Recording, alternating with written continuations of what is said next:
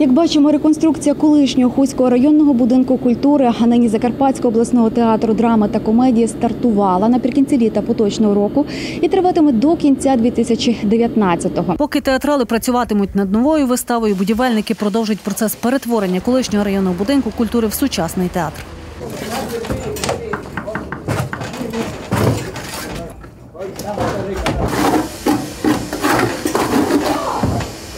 Одні добудовують додаткові приміщення, скоріш за все, там будуть гримерки для акторів та костюмерні. Інші проводять земляні роботи, утеплюють та оновлюють фасад будівлі на черзі дах. На об'єкті працює не один десяток робітників, щоб встигнути у відведені терміни.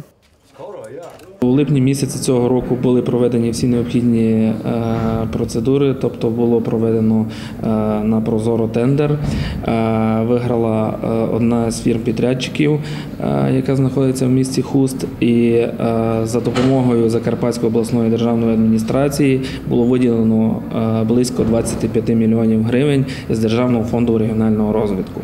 Роботи 16 серпня розпочалися. Був дозвіл отриманий у інспекції е, ДБК у місті Ужгород щодо е, так званої реконструкції На плакаті проекту можна побачити, як буде виглядати відреконструйована під театр будівля, фасад з майдану, вхід до театру і його фасади також хол, рецепція та глядацька зала. Крім того, задіють в оновленому театральному дворику і елементи ландшафтного дизайну.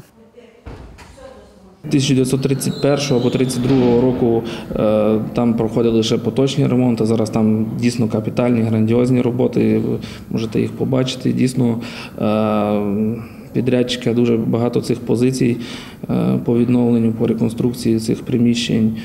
Ну, складність, важкість робіт, е, можна сказати, е, дуже велика, тому що там і висотні роботи, і земляні роботи, і ви бачите, то центральна частина міста, є проблема з е, і довозом будівельного матеріалу, є проблеми з цим, але поки що, згідно графіку робіт, підрядник виконує свої зобов'язання. Нагадаємо, після того, як Мукачівська міська влада колишній обласний театр перетворила на комунальний заклад, Закарпатський обласний театр драми та комедії переїхав до Хуста, де наразі завершується реконструкція будівлі. Вартість перетворення близько 25 мільйонів гривень.